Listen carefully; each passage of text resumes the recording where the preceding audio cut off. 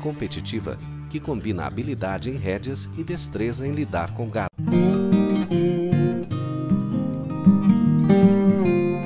Na primeira parte da prova, o conjunto deve seguir um percurso de rédeas pré-determinado. As rotinas exigem manobras como círculos, trocas de mão, spins, recuos e esbarros. Assim que termina a etapa de rédeas, começa o trabalho com o gado. Um boi é solto sozinho. Primeiro, o cavaleiro deve segurá-lo no fundo da arena e demonstrar a habilidade do cavalo em contê-lo. Isso é chamado de boxing. Então, o cavaleiro deve conduzir o boi beirando a lateral da arena e virar ao menos uma vez para cada lado. Esta parte é chamada de fencing, ou trabalho de cerca. Por último, o cavaleiro deve mover o boi para o centro da arena e fazer círculos ao seu redor, dando ao menos um giro em cada sentido. Não existe um tempo determinado para a realização da prova. No entanto, quanto mais rápido o conjunto, significa maior controle e domínio sobre o boi. Julgamento é baseado em boas maneiras, maciez, senso de rebanho e facilidade no trabalho de rédeas. São penalidades: o excesso de agressividade com o boi, a falta de controle no fundo da arena e na condução junto à cerca e nos círculos. O cavaleiro não deve usar excessivamente as rédeas e esporas.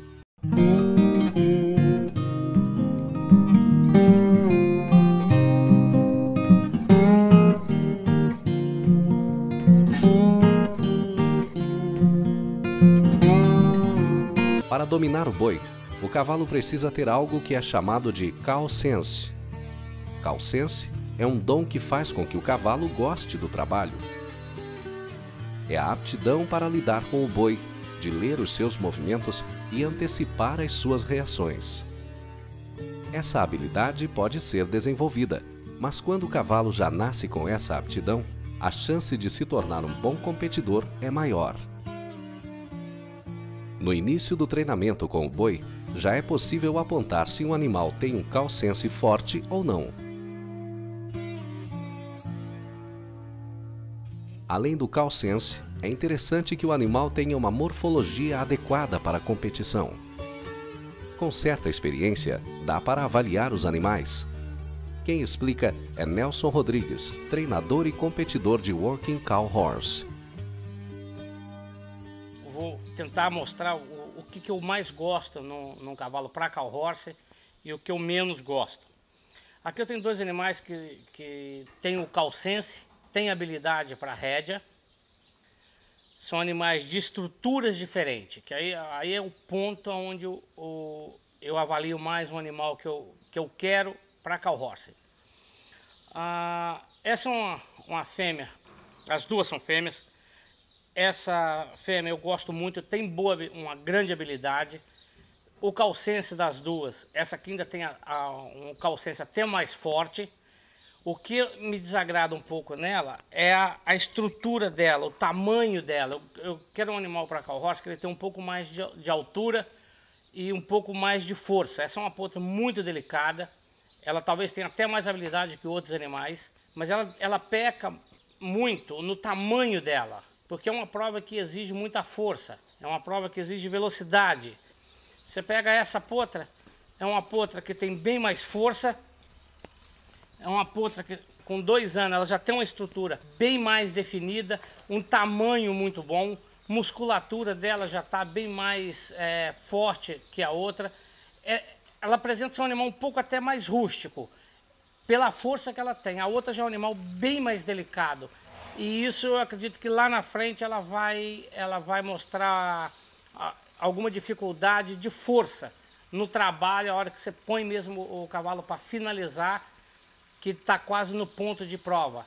Eu acho que ela vai me deixar a desejar, enquanto que o animal desse aqui, a tendência é sempre ter mais força e sempre crescer mais na modalidade. Bom, aqui são dois animais de três anos, que serão pontos futuros desse ano.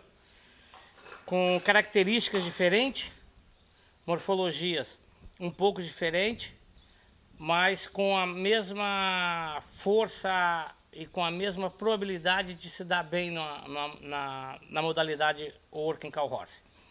Esse é o animal que eu gostaria de que todos fossem. Esse é o, o padrão ideal que eu tenho visto lá fora nos Estados Unidos. A maioria dos cavalos são esse padrão de morfologia. E mais de 50% em todas as competições que eu vi, esse é o padrão ideal. E muitos também daquela morfologia, que é uma égua também com bastante força, de boa estrutura, de um bom tamanho. Ou seja, esse é o animal que eu sempre busco ter para treinamento. Eu acredito que sempre vai ser um animal que, que, que tem uma, uma, uma condição de ser bem competitivo. Essa é uma égua já de uma estatura diferente, uma égua bem maior, mas com uma boa musculatura também. Mão bem, bem equilibrada, paleta, musculatura de garupa.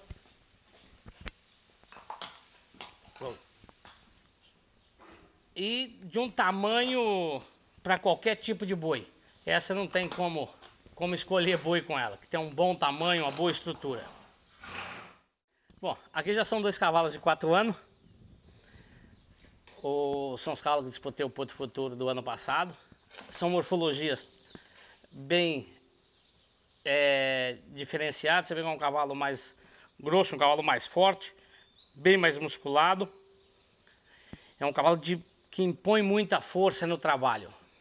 Esse é um cavalo mais leve, um cavalo mais suave, um cavalo bem delicado, gosto muito eu ah, gostaria que ele tivesse um pouco mais de musculatura, pelo tamanho que ele tem, para o trabalho com o boi.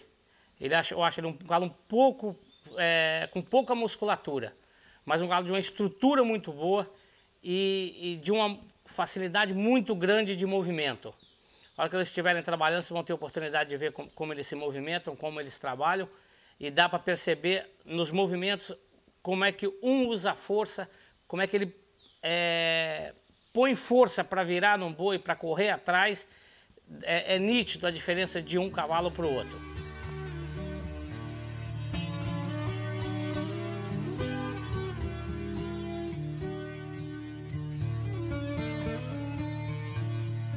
A modalidade exige equipamentos e acessórios adequados. Existem principalmente celas, cabeçadas e embocaduras mais apropriadas. As cabeçadas e embocaduras podem variar conforme o estágio de treinamento do cavalo. Meus cavalos de working carroça, eu gosto de iniciar eles com esse tipo de bridão. É um bridão que muitos americanos usam para treinamento. Ele é um bridão que tem uma, uma curvatura lateral e que quando você puxa os potros pelo de lado, ele segura melhor a lateral, ele traz a, a, a, cabeça do cavalo e o canto de boca de cavalo, ele traz por inteiro. Ele é diferente da ação do bridão de argola, que o bridão de argola ele dá uma pressão é, diferente. Esse ele puxa a cabeça do cavalo inteiro.